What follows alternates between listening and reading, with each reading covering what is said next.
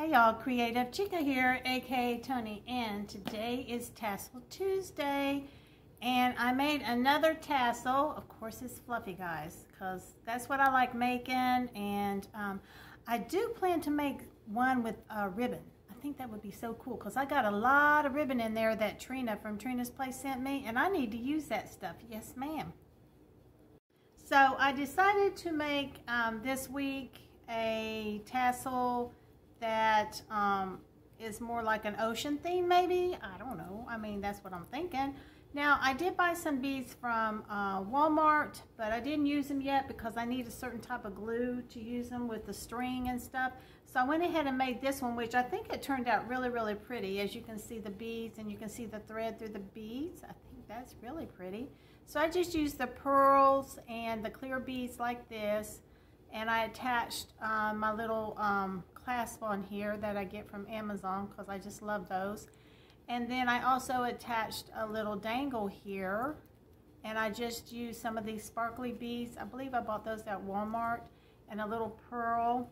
And then uh, Christina Murray, my sweet Christina, she sent me a box full of these little charms and uh, in there and see I didn't have any shells so I said oh this is perfect so this looks like a little what do you call that like a conch shell or something um, so yeah, it's a little seashell.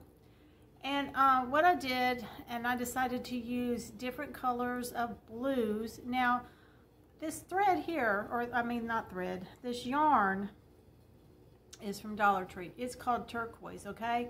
And then I had this other color, which is like a darker color, and it's called turquoise. And it's the same stuff by Premier Yarn. So what's up with that? I don't even know. But I already had the turquoise and then I got the light blue. I think I might have sent my other light blue to somebody else in friend mail. So in here I added some of this, uh, it's a real light green eyelash trim. And I added the two turquoise colors in the yarn. And then, um, let's see. And then I just added this here. This is the eyelash trim from Hobby Lobby.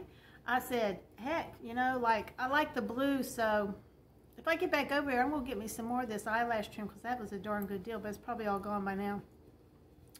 Anyway, um, I just thought that that was so pretty, and I think it would be perfect for this type of um, tassel that I made. I mean, to me, I mean, you know, I wanted to make something that kind of looked like ocean. That's the best I could do, guys.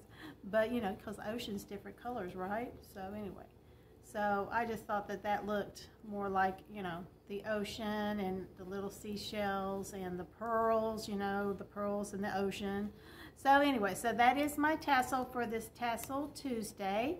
And this uh, Tassel Tuesday is hosted by Creating with Jovi. So please go check her out, show her some love.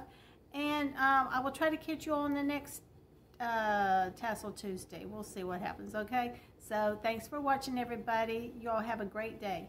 Bye.